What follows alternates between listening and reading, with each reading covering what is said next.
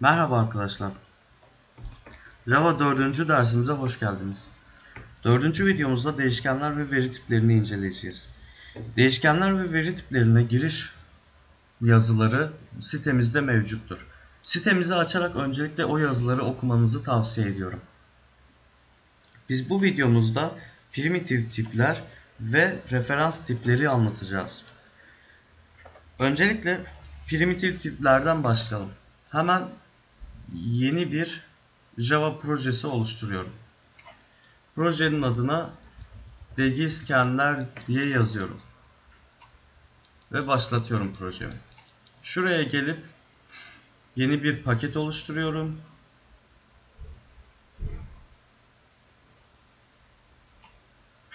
Ve paket adını da değişkenler olarak koyuyorum. Ve sıra geldi sınıfımı oluşturmaya. Byte değişkeni olarak bir sınıf oluşturuyorum.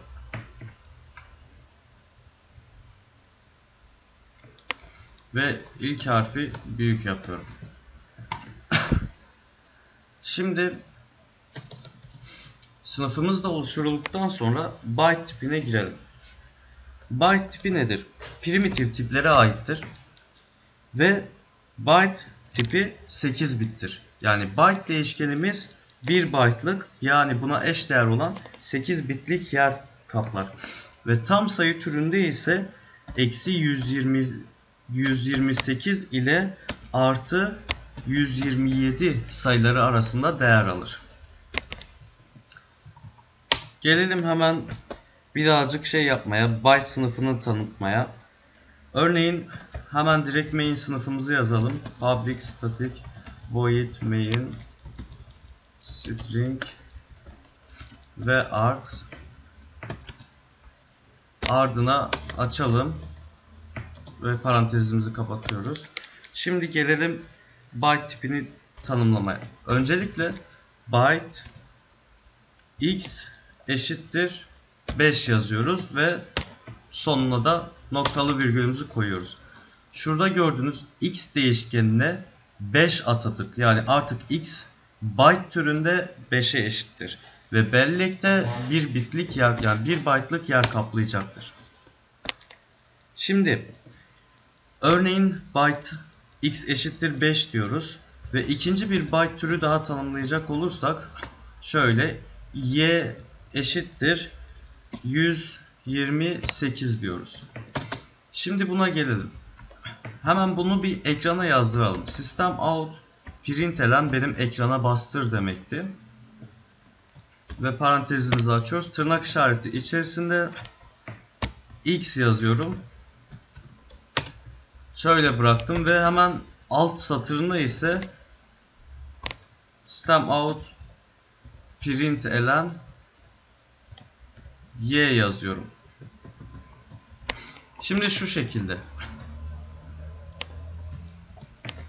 X eşittir tırnak işareti dışına çıkıp x yaz, yazdığımda bu benim ekrana tırnak işaretini aynen yaz ve x'in ise değerini yaz demek oluyor. Fark ettiyseniz buradaki x'i yani x eşittirden sonraki x'i tırnak işareti içine yazmıyorum. Buna dikkat edin. Y için ise aynısını yaptığımızda artı y diyoruz. Ve bu şekilde bırakıp programımızı çalıştırıyoruz. Şimdi şu şekilde ilk olarak bir hatamızı gösterelim. Gördüğünüz gibi şurada bir hata verdi. Çünkü cannot convert from into byte. Şurada şöyle gösteriyorum. Dediğim gibi eksi 128 ile artı 127 arasında değer alır byte değişkeni. Bu yüzden byte olarak tanımladığımızda tanımladığımız değerlere dikkat etmeliyiz. Şurada gördüğünüz cannot convert from into byte yazısını gördüğünüzde bilin ki byte değişkeninde sayı olarak hata yapmışsınız. Şimdi şuradaki sistem out println örneklerini göstermek için y'ye de 12 veriyorum ve çalıştır diyorum. Çalıştır dediğimde gördüğünüz gibi x eşittir 5 y eşittir 12 değerini aldı. Şurada gösterdiğim mantık buydu. Şimdi ilk değişkenimiz byte'tı. Açıkçası byte'ı çok kullanmayacağız. Çünkü onun yerine kullanacağımız int türü ifade var. Fakat bunları da bilmemiz lazım. Şimdi gelelim yeni bir sınıf oluşturalım değişkenler içerisinde. Bu sefer de çok kullanacağımız diğer sınıfa geçelim. İnt değişkeni. Arkadaşlar int yani integer değişkenini çok kullanacağız. Ve gelelim int değişkenine arkadaşlar. Integer yani int değişkeni 32 bitlik yer kaplar. Bellekte yani bu da 4 byte'a eşit olur. Tam sayı türünde ise eksi 2 üzeri 31 ile 2 üzeri 31 eksi 1 arasında değerler alır. Şöyle gelin. int için biz yani tam sayıları şey yapıyoruz, tanımlıyoruz. Hemen gelelim bir main sınıfımızı yazalım. Public static void main string args diye sınıfımızı yazıp parantezleri açıp kapatıyorum. Şimdi şu şekilde int yanlış yerdeyiz. Şuradan int şöyle yapabiliriz. Örneğin bir sayı olsun. Bu eşittir 1453 ve noktalı virgül. Tanımımız bu şekilde. Önce verinin tipi, sonra adı, sonra ise neye eşit olduğu. Bu şekilde değerimizi veriyoruz. Ve sonra bunu yine sistem out println ile ekrana çıkarmak istediğimde şu şekilde yapıyorum. Direkt sayı yazıyorum örneğin. Gördüğünüz gibi tırnak işareti veya herhangi bir şey yok. Direkt integer'ın değerini yazıyorum. Ve ondan sonra çalıştır dediğimde şuradan gördüğünüz gibi ekrana 1453 sayısı geliyor. Bu şekilde de başarılı bir şekilde integer yani tam sayı değeri tanımlamamızı yaptık. Şimdi sırada gelelim ikinci önemli değişkenimize. Bunun için de hemen yeni bir sınıf oluşturuyorum. İkinci önemli değişkenimiz ise float değişkeni. Evet ve geldik. Arkadaşlar float ise 32 bit türünde ondalık sayıları tutabilen bir e, veri tipi türüdür. Şu şekilde biz yaptığımız örneğin matematik işlemlerinde özellikle bölme işlemlerinde virgüllü sonuç elde ediyorsak o zaman float değişkeni kullanmamız lazım.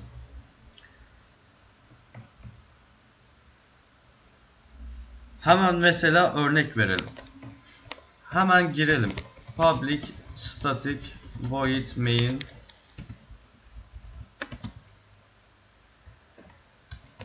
ve string args'ı ekliyorum ve hemen parantezlerimi açıyorum. Şimdi hemen girelim bir float türünde tanımlamalar yapalım. Bir de bunu integer ile karşılaştıralım. Örneğin float x diyelim. Bu float x eksi 10'a eşit olsun. Şimdi ikinci float değerim ise yani y bu ise 100'e eşit olsun. Üçüncü float değerim ise şu şekilde z olsun ve bu z x ile y'nin bir matematiksel işlemi olsun. Yani z eşittir x bölü y diyelim. Bu şekilde tanımlamamızı yaptık. Şimdi sistem out println diye girdim ve parantez içinde z eşittir artı z diye ekliyorum. Ve bunu çalıştır dediğimde gördüğünüz gibi z eşittir eksi 0.1 yazıyor. Peki bir de bunu integer veri tipiyle tanımlayalım hepsini. Örneğin int x eksi 10 int y yine 100 bunlar ne oluyor? Hepsi integer tipli oluyor. Fakat z float olmak zorunda. Neden? Çünkü z'yi float yapmadık mı virgülden sonra rakam çıkmaz. Ama şu şekilde. Eğer ki bunları int yaparsak, z'yi float yaparsak bu sefer de bölme sonucunu integer'a en yakın değere yuvarlayacaktır. Yani sonuç 0.0 olacaktır. Peki üçüncü olasılık ise z'yi de integer yaparsak o zaman gördüğünüz gibi sonuç direkt 0 yazacaktır. Yani tam sayı türüne çevrilmiş olacaktır ki bu da bizim aradığımız sonucu doğru bir şekilde vermeyecektir. Float ve integer arasındaki fark budur arkadaşlar. Biri rasyonel sayıların hepsini kavrayabilir. Diğeri ise tam sayıları kavrayabilir. Bu yüzden hangisine hangi tipi tanımladığımıza dikkat etmemiz lazım. Şimdi diğer değişken tipi olan char değişken tipine giriş yapıyoruz arkadaşlar. Hemen yeni bir sınıf oluşturalım. Char değişkeni diyorum. Ve hemen char değişkeninin özelliklerini söyleyeyim size. Arkadaşlar uzunluğu 16 bittir ve karakter türünde tipler alır. Yani şu şekilde olacak. Bir harf, bir rakam veya bir işaret alabiliyor sadece. Hemen main sınıfımızı yazalım. Public static void main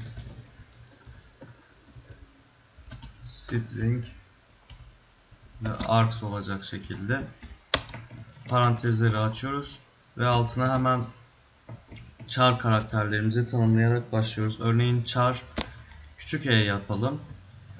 Eşittir tırnak işareti içerisinde tek tırnak işareti gördüğünüz gibi şurada tekli olandan e yazdım ve aşağı geçtim. Hemen ikinciye char m diyelim. Eşittir m yazıyorum.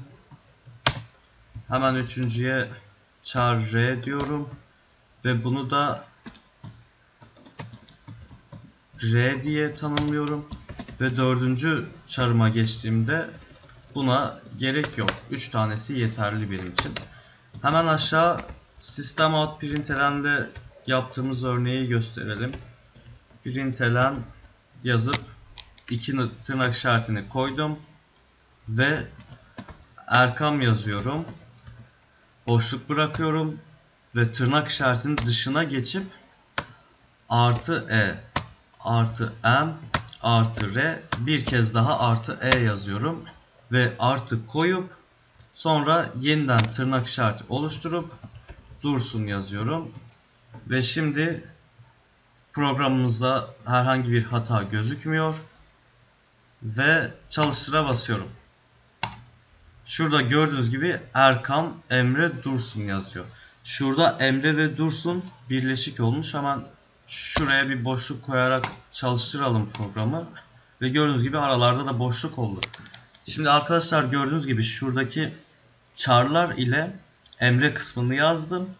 Geri kalanı ise system out println ile yazdım. Char karakterimizin tanımı ise bu kadar. Şimdi geçelim sıradaki tipimize. Bu da boolean. Hemen bunun için de bunun örnekleri için de bir sınıf oluşturuyorum. Boolean değişkeni ve geçiyorum. Arkadaşlar Boolean ise yalnızca iki değer alıyor. 1 veya 0 yani ya doğru ya da yanlış olarak. Ve bellekte ise 1 bitlik yer kaplıyor. Şimdi hemen bir public static void main sınıfımızı yaparak string sonra yanına ise args ekliyorum ve parantezi açıp aşağı iniyorum. Şimdi hemen bir örnek verelim. Örneğin int x eşittir 5 olsun. Örneğin başka bir iğne integer değeri örnek verdiğimizde y eşittir 6 olsun. Şimdi arkadaşlar bir de boolean tanımı yapalım. Boolean şöyle diyelim. Örneğin boolean z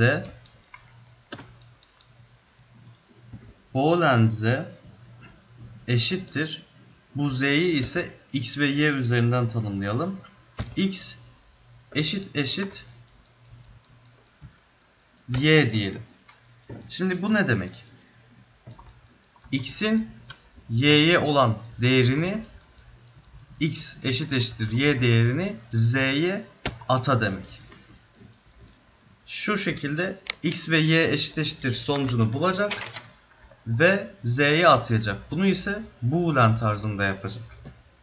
Yani bu sayede bir de çıktığımızı alalım. System out println diyorum ve buraya z diyorum. Bana direkt z'nin çıktısını versin. Şimdi ben bu programı çalıştırdığımda değer bana false diyecektir. Çünkü şu şekilde x eşit eşittir y'yi karşılaştırdığında program y ve x'in birbirine eşit olmadığını görecek ve bunu boolean tipinde false olarak yazacaktır. Yani z eşittir false olacaktır. Gördüğünüz gibi false. Bu yine true veya false değerini atıyor boolean dediğimiz gibi. Peki eğer x'i 5 yapsaydık yani x eşit eşittir y ifadesi boolean tipinde true olsaydı gördüğünüz gibi z true olarak çıkacaktır. Bizim şu anlık öğrenmemiz gereken değişkenler bunlar arkadaşlar. Bundan başka değişkenleri de ve referans tipleri de ileride zaten öğreneceksiniz. Bir sonraki derste ise aritmetiksel atama operatörlerinin yanında onlar üzerinde örnek verilecek ve Java'da kontrol yapılarına geçilecek. Yani artık e, programlamaya resmi olarak giriş yapmış olacağız. If else komutlarına giriş yapmış olacağız. Ve bir sonraki derste görüşmek üzere. Sitedeki yazıları okumayı mutlaka ihmal etmeyiniz. Orada açıklayıcı bilgiler veriyorum, özel notlar veriyorum veya burada anlatmayacağım şeyleri siteden veriyorum. Kendinize çok iyi bakın. İyi günler.